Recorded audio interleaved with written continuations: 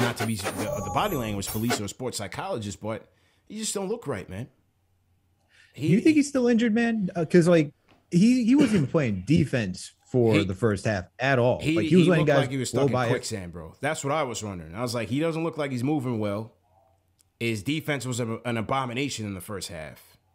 You know, uh, in terms of his, of his help defense, he didn't look like he was moving too well. But then it's just his overall body language was was was terrible. Even Alan Hahn called him out on the MSG post game Tonight. Under 23 group. It's not as if, you know, this is an older veteran team and these are wins that, uh, you know, aren't resulting in something that you can build towards. Right. So you love to see that part of it, and you just wish that Julius Randle would join the party. You just wish that he would enjoy it too, because you know he walks off the court, he throws the basketball away. Your team just got a nice win at home. Exactly. Like celebrate with your team, celebrate with Alec Burks. You know, and too much of that is going to be focused on instead of the joy that Wally's talking about with Barrett, Quickley Mitchell Robinson, Obi, and a lot of the young guys. Uh, didn't help anybody up. Just walked off the court after the game. Like I don't know, man. So, something something is just not right with that guy, bro. That's why I say, man, we talked about last show. The front office really has to evaluate if he's going to be back next hey. season. If you try, because you can't have this type of body language, especially if he's one of your top players, right? If he's going to be paid like it, mm-hmm. he's going to be considered a leader. This is not the type of stuff you want to see from someone who's considered a leader in the locker room. Yeah. You know, how do I handle the the, the Randle situation? You know, like I said, it's tough, man, because I think selling low on him is risky, especially when you need to ultimately make that big trade that's going to net you a star, quote unquote, right? Because let's think of it this way when you get rid of him,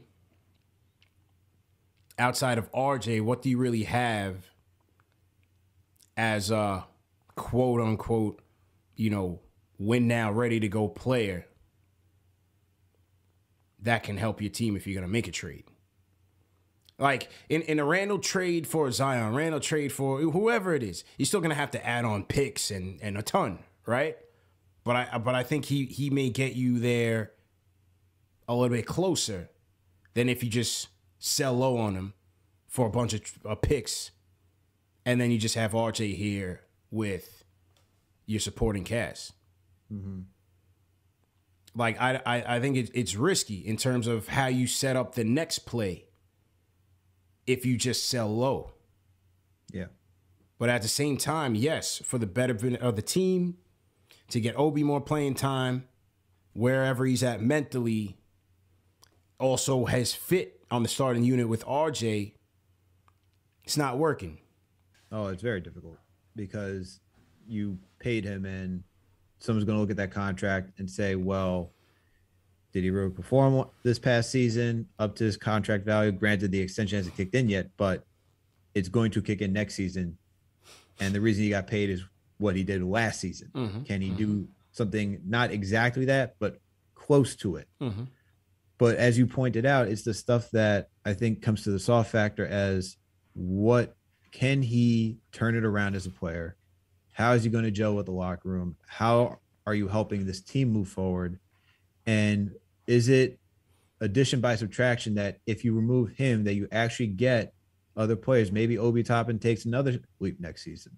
Maybe sure, Quentin Grimes. Maybe you get guys who start to embrace more of these minutes and become better players because of it. And then when you think you lost a player who had a lot of value, you actually get even more players who have more value. Right. right. So I think that's another way you got to look at it. And when evaluating this trade, and that's why I am thankful that I'm not in this front office because my job would be on the line trying to figure this out yeah. uh, for this off season. So that's I think that's the biggest part. And I know you don't want to necessarily trade a player at, at, at their lowest because what do you get in return? But I, to me, it comes down to how is the team performing. I'm always thinking about the team first because if someone's going to be a detriment to the team and mentally, like that will impact everybody else and how they play.